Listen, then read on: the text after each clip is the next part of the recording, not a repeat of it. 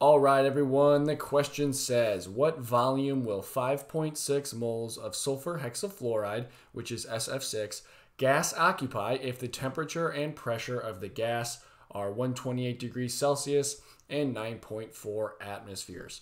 So let's first write down what the problem gives us. We get 5.6 moles.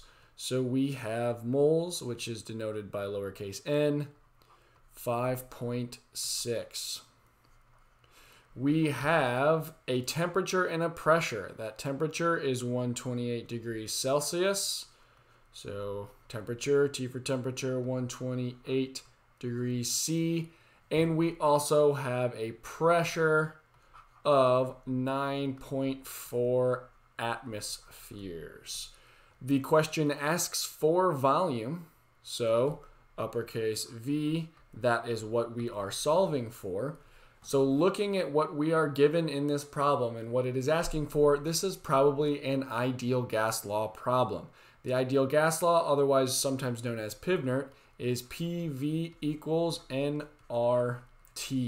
We have three of the variables given to us, one that we are looking for, and the fifth R is the universal gas constant, which we will later pick from uh, the available options. So R is the last one we will need. So let's manipulate our ideal gas law to solve for what we want, which is volume. So on the left side, we have volume and pressure. If we divide both sides by pressure, we will effectively cancel pressure on the left because it's on the top and the bottom and isolate for V. So we end up with V equals nRT over P. So now we can plug in our numbers for our variables. So for N, for moles, we have 5.6 moles, abbreviated MOL. And then we're going to multiply that by uppercase R, the universal gas constant. Now we have multiple options for the universal gas constant. They're up here in the top right you generally are going to pick the universal gas constant, which has the same pressure units that you are using for your pressure in the equation or the pressure units that you want in the end. So because our pressure is in atmospheres, I am going to pick the universal gas constant that uses atmospheres. So in our equation, we will put 0.08206 and the units for the universal gas constant are all liters per atmosphere over Kelvin mole.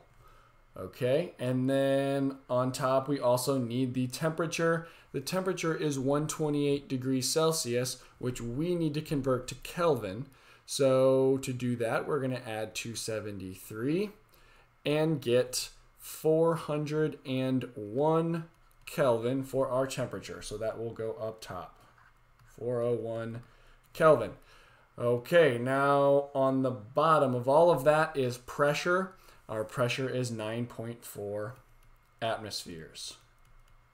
And once we have everything plugged in, let's make sure all of our units cancel out and we're left with exactly what we want. We have moles up top here, and then moles here, it's on the bottom of the top so of that fraction. So essentially it's on the bottom so they will cancel. Kind of the same thing with Kelvin. They will cancel. And then atmospheres here and here. And we are left with liters which is perfect because we're looking for volume. Okay let's plug this in our calculator and do the math.